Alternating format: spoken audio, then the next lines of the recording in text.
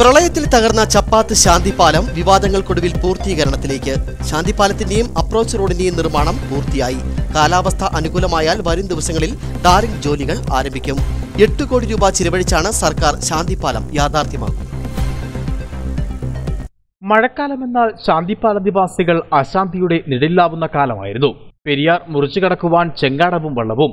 അപകടം തുടർക്കഥയാവുമ്പോൾ ജനങ്ങൾ സംഘടിച്ച് സ്വയം പാലം നിർമ്മിച്ചു. പാലം ഉയർന്നതോടെ ഇവിടെ ശാന്തിയും കൈവന്നു. പാലത്തിന് ശാന്തിപാലമെന്ന നാമകരണവും വന്നു. ചെറിയ വാഹനങ്ങൾക്ക് ഓടുവാൻ കഴിയുന്ന പാലത്തിലൂടെ വലിയ വാഹനങ്ങളും ഓടി തുടങ്ങി. എന്നിട്ടും പാലം കുലുങ്ങിയില്ല. എല്ലാ മഴക്കാലത്തും പാലം വെള്ളത്തിൽ മുങ്ങും. എന്നാൽ ദിവസങ്ങൾക്കകം വെള്ളമിറങ്ങുകയും പാലത്തിലൂടെ വാഹനം ഓടിത്തുടങ്ങുകയും ചെയ്യും. എന്നാൽ രണ്ടായിരത്തി പതിനെട്ടിലെ പ്രളയത്തിൽ പാലം കുലുങ്ങി. കൈവരികളും അപ്രോച്ച് റോഡിന്റെ സംരക്ഷണ ഭിത്തിയും തകർന്നു. വെള്ളമിറങ്ങിയതോടെ ജനങ്ങൾ തന്നെ പുനർനിർമ്മിച്ചു.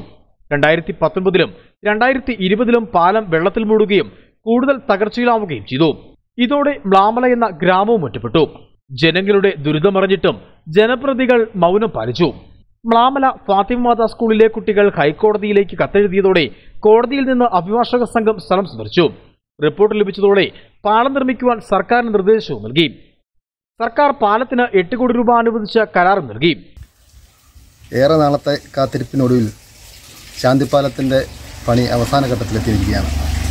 രണ്ടായിരത്തി പതിനെട്ടിലെ പ്രളയത്തിന് ശേഷം പൂർണമായും തകർന്നുപോയ പാലം തുടർന്നുണ്ടായ പ്രളയങ്ങളിലും ഏതാണ്ട് മൂന്ന് വർഷക്കാലം പാലം പൂർണമായും തകർന്ന് ഗതാഗത യോഗ്യമല്ലാതെ പിന്നെ കിടന്നൊരു സ്ഥിതിയായിരുന്നു. നാട്ടുകാരുടെ സഹായത്തോടു കൂടിയൊക്കെ താൽക്കാലികമായി വണ്ടി കടന്നു പോകാനും സ്കൂൾ കുട്ടികൾക്ക് സ്കൂളിൽ പോകാനും ഒക്കെ ഉള്ളൊരു സംവിധാനം നാട്ടുകാർ ഒരുക്കിയെങ്കിലും ശാശ്വതമായൊരു പരിഹാരം പിന്നെയും അകന്നു നിന്നു. എന്തായാലും ഗവൺമെന്റ് ഏതാണ്ട് എട്ട് കോടിയോളം രൂപ പിന്നെ അനുവദിച്ചു. പാലത്തിന്റെ പണി ഏതാണ്ട് അവസാന ഘട്ടത്തിലെത്തി നിൽക്കുകയാണ്. ഇനിയിപ്പം ടാറിങ്ങും ഐറിഷോടയും മാത്രമാണ് ബാക്കിയുള്ളത്. ഏതാണ്ട് ബുധനാഴ്ചത്തോടു കൂടി ടാറിങ് പണി ആരംഭിക്കുമെന്നാണ് ഇപ്പോൾ മനസ്സിലാക്കാൻ കഴിഞ്ഞിട്ടുള്ളത്.